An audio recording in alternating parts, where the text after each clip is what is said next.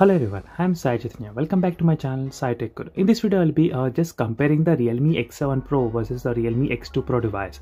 So recently I did a video on the Realme X7 Pro specifications and the initial impressions which got leaked in the few of the websites and a few of the users they do have concerns that uh, whether to wait for the Realme X7 Pro or uh, should they buy the Realme X2 Pro device. So in this video, I'll be giving you the quick uh, clarification regarding what are the aspects you need to know before actually buying the Realme X2 Pro or uh, should you wait for the Realme X7 Pro or not.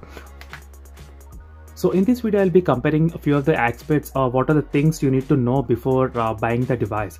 So overall friends, the Realme X2 Pro is uh, pretty good. So there is nothing wrong with the mobile phone. But hence the Realme X7 Pro has launched, uh, it, it is going to launch uh, very soon in India. So that's why I decided to make this video. So it will give a quick clarity whether to wait or whether to buy this mobile phone. So first thing is that if you're uh, in a hurry to buy a mobile phone so then definitely you can buy the realme x2 pro right now without any problem and if you're that kind of person who can wait for the next uh, one month then you can i will suggest you to wait for the one month with so uh, the reason because there are uh, so many things got changed with the next version of the Realme X2 Pro which is the Realme X7 Pro device. So first is that having 120 Hz refresh rate and one more thing if you're not uh, in, into the refresh rate and if you don't want uh, any higher refresh rate and if you are okay with the 90 Hz then Realme X2 Pro will be very fine. So without any problem. But if you're a kind of person who wants to buy the mobile phone for the as a future proof to have all the options right now then definitely you can buy the 120 Hz refresh rate. So right now there are no no such games. Like not a lot of games are available currently. Which suppose the 120 Hz refresh rate but still if you want to have the future proof you can wait for this mobile phone. So this is the one reason i would highly recommend you can wait. So next is that uh, charging fast charging. So right now the, in the realme x7 pro there is 65 watt fast charging. In the realme x2 pro which has 50 watt fast charging which is a very good and decent speed and the phone battery is of 4000 mAh of battery capacity and here in the X7 Pro has 4500 mAh of capacity. So what they did is that they increased the charging speed and they also increased the battery as well. So that means the overall charging speed time will be coming close to this Realme X2 Pro. The charging time won't decrease. It will be the same as uh, Realme X2 Pro. So close to 30 minutes.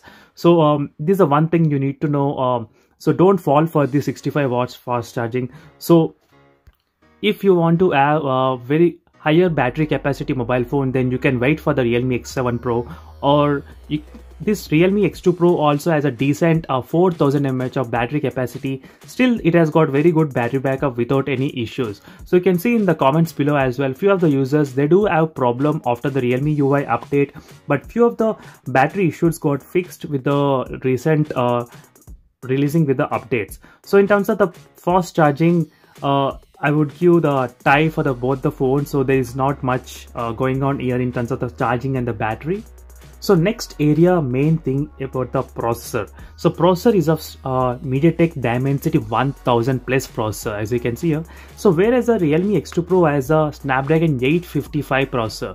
So if you ask me, I would highly highly recommend the Snapdragon processor only over the MediaTek processor for the long time uh, durability. So definitely friends for the long time usage and gaming and uh, the Snapdragon processors are pretty good and everything is working fine with the Snapdragon processor without any issues. So MediaTek processor, they tend to little bit kind of heat up a lot and have the battery draining problems. But